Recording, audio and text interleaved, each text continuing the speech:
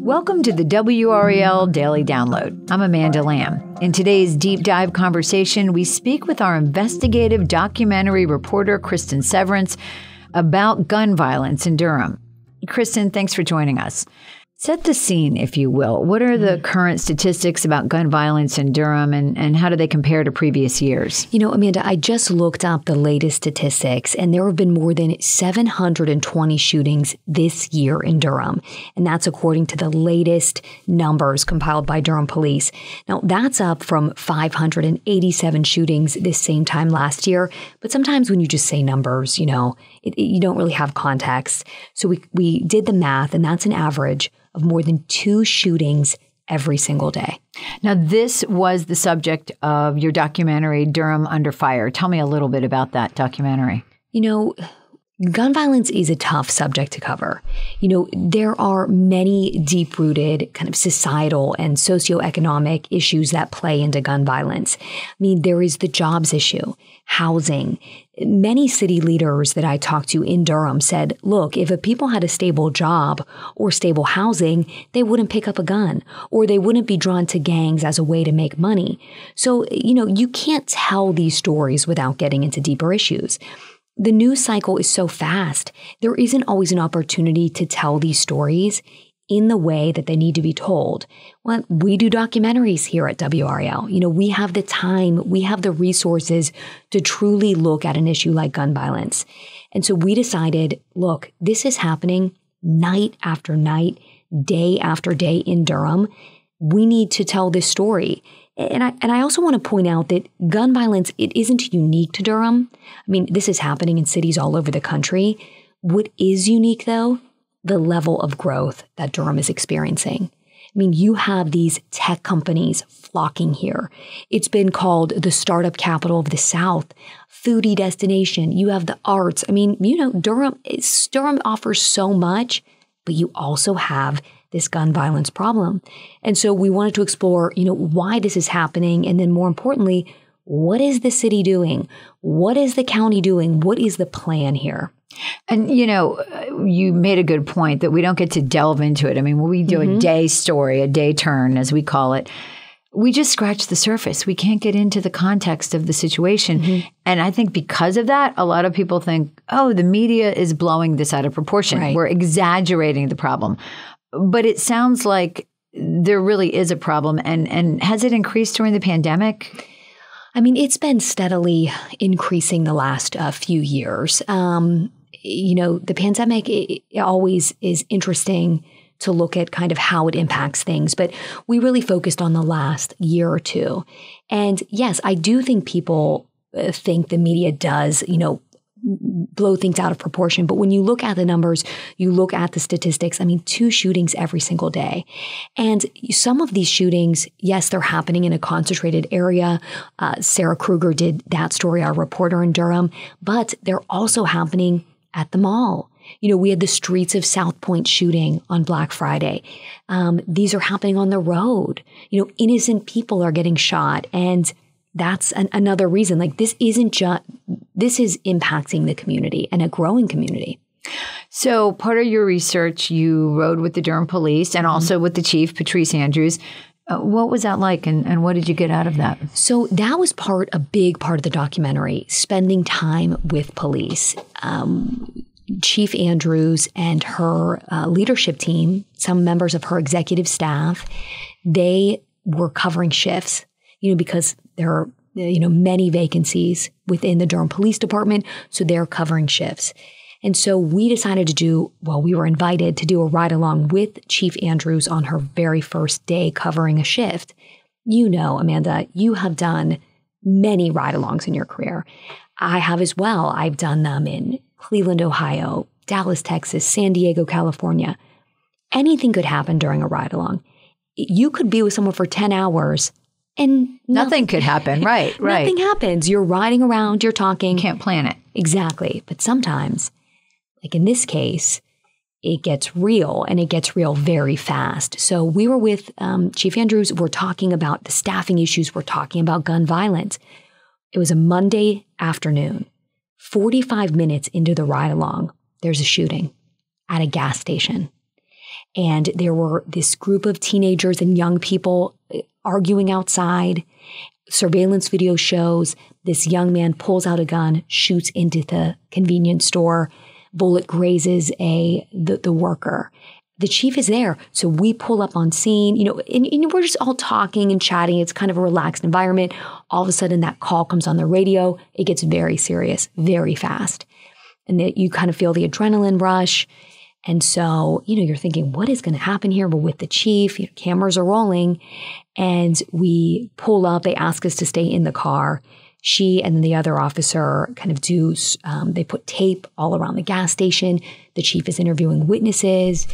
And I mean, she's really doing the job. She's doing the job. This is not right. a, a, press media availability, gotcha. right? She's yeah. doing the job. So, you know, my photographer and I, documentary photographer Jay Jennings, were in the car. We're still getting video. The, the gas, it's in the middle of the day. The gas station is packed. There are families. There's a woman holding a baby outside the car. I mean, you know, I'm looking at this happening. Other camera crews start to arrive, including WRAL. So she gets back in the car after about, I don't know, 40 minutes or so, maybe, maybe a little less. And she's just visibly upset and very frustrated. And so she needs to answer the other calls. I mean, that's her point. She says, okay, a shooting happens. Look at all the, the police presence. These calls are just racking up and they don't have the officers to, you know, respond. So she goes to respond to another call. And then we just get into this very interesting, deep, real conversation about how she feels. And she just, she says, it's senseless. Why do people do this? Why do you have a gun? And why are you shooting each other over nothing?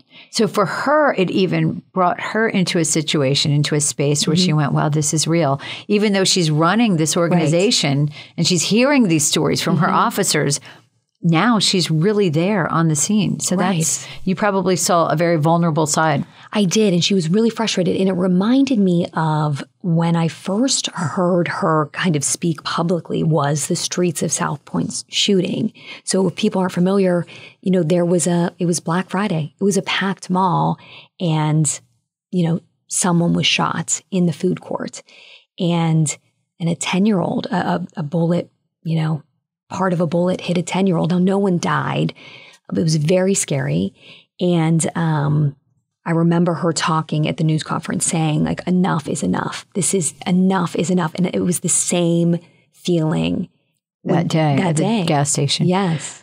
Thank you, Cristin. So we'll be back after the break with more from Cristin on this topic. And we're going to talk about one tragic story, a shooting death of a little boy that really sums up the crisis. Welcome back to the WRAL Daily Download. I'm talking with WRAL's Cristin Severance about gun violence in Durham. So, Cristin, when you did the documentary, you included the story of Z'Yon Person, and he was very central to your coverage. I know it happened a couple of years ago, but in a way, this case seems to be a jumping off point for city leaders, especially um, the mayor pro tem at the time, Mark Anthony Middleton, mm-hmm. demanding change. Tell me about that. So the Z'Yon person case is is just tragic.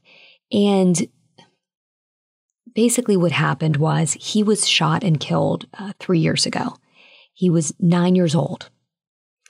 And he was in his aunt's SUV. Um, he was with his siblings and his cousins on his way to get a snow cone. They they were um, celebrating. He had just been named quarterback of his Pee Wee football team, so he was just a child living his life. And, you know, we talked to his grandmother, Sandra Person, for the documentary. I, when I called her for the interview, she started crying on the phone. She, I mean, she told me this family is destroyed. I mean, who, wouldn't be?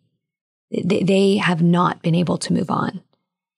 Um, his siblings were in that car was he was shot in the car in like a drive-by shooting, obviously not intentionally. No. So what happened was uh, Anthony a- Antonio Davenport or Little Tony um, was arrested for Z'Yon's murder, and he was recently convicted by a federal jury.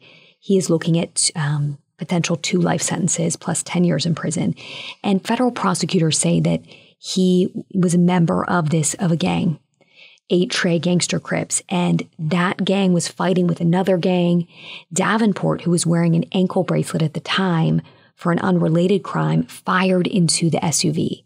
He fired into Z'Yon's aunt's car, thinking it belonged to a rival gang. So it was a mistake. It didn't. Yes, it was Z'Yon, um, but it was was really, you know, I mean, how could you get more tragic than that? Right. Well, Davenport was a rapper. He was a rapper in this um, group called the 83 Babies. This is not some YouTube rap. This was a successful rap group. They he signed, had a career. Yes, they signed a major recording contract with Atlantic Records. And like, you know, like Z'Yon's grandmother says, for what? He had a chance. Antonio Davenport had a chance to, to make something of himself, yet his life is over. Z'Yon's life is over. And it, that happened three years ago. So, so many people thought this is it. This is the turning point. This right? is the rallying cry to say, uh, as the chief said, enough is enough. We yes. need to do something. So, what are city leaders doing? I mean, what is you know what is the mayor doing? What are what is the city council doing? I mean, accountability was a big part of this documentary, and we did. We sat down with police, Mayor Pro Tem Mark Anthony Middleton, uh, Mayor O'Neal, the district attorney and you really have to watch the documentary to hear from each person, right? I will say each person is very, has very strong beliefs, very strong convictions in what they think will fix it. What I got out of doing this, no one is on the same page. So everyone very much believes in what they think will solve it, but there is no one person. There's nothing consistent. Right. And so you have, you know, Mayor Pro Tem um, Mark Anthony Middleton. He, sa- he says, look, it's not one thing, it's several things. So he thinks there needs to be money put into communities. He thinks there needs to be stable jobs. He thinks there should be Shot Spotter, which is a shot detection technology where, you know, you put sensors up, you hear gunshots go off. No one has to call police. Police are immediately dispatched. You have, you know, the mayor. Mayor O'Neal is this, you know, um, People say there's never been a, a, someone like her in Durham politics. She was a judge for a long time, law school dean from Durham. She has a lot of different ideas. One of them, she thinks you should meet with gang members. She sits down and talks with gang members and, and brings them to the table so they stop the violence. She calls them reformers. Well, that's totally different than these other violence interrupters called Bull City United. They're paid by the city to do that. So you have that effort. Then you have the district attorney. Yeah, tell me about your interview with her because I know there were some mixed reactions to that. Right. What did she say? So, uh, District Attorney Deberry ran on this progressive platform. Okay. She immediately said, I'm going to do things differently. I we are going to not focus on low level crimes where someone maybe made a mistake and their life is forever changed and they can never get out of the cycle. We're going to focus on these violent crimes. While many people, there, yes, some people definitely believe in what she's doing. Others say it's, it's not working. She is not tough on violent crime. So, as an investigative reporter, as you know, when you have two different groups saying two different things, you have to look at the numbers. You have to look at the data. What is the data showing? So, we pulled these public available numbers, publicly available numbers from the administrative office of the courts. And um, we looked at conviction rates. Okay. So, we looked at conviction, felony conviction rates for Durham County. These are people convicted as charged, not people who plead to lesser charges or take plea deals and looking at 38 different kinds of violent felonies, including rape, robbery, and assault, Durham has a conviction rate of 37%. That seems very low. It's very low. Wake County, conviction rate 61%. Okay, so in contrast, very low. Statewide, 49%. But you know, Amanda, she's saying, she basically is saying the where we pulled our data is flawed is flawed. Okay. And she said she does not focus on felony conviction rates. And she basically is like high, conv- high felony conviction rates don't equal safer community. And so our whole point with that interview was okay, so what is your measure for success? What is your metric? Other than if you don't like these numbers and you think it's a flawed system, other than saying, yes, I'm tough on violent crime, how are you How are you it? going to quantify that? Yes. I I'm really still unclear as to how they quantify it. You know, she's saying and if you listen to the documentary, It, you know, she says they focus on the individual outcomes, the individual outcomes for individual cases. And, you know, they believe in what they're doing and they'll, they'll continue to do what they're doing. So, obviously, this is not a problem that's going to be solved overnight, Mm-mm. and lots of different solutions, like you said, coming from lots of different people. Mm-hmm. So, very, very insightful. Thank you so much, Cristin, for sharing your knowledge about this. I'm sure we're going to continue talking about this. And thank you for listening to the WRAL Daily Download and making us a part of your morning routine. Another great way to get WRAL news is the Morning Briefing newsletter. It's a daily email that's waiting in your inbox every morning with Triangle News, events, and headlines to get you ready for the day. Sign up at WRAL.com slash newsletter.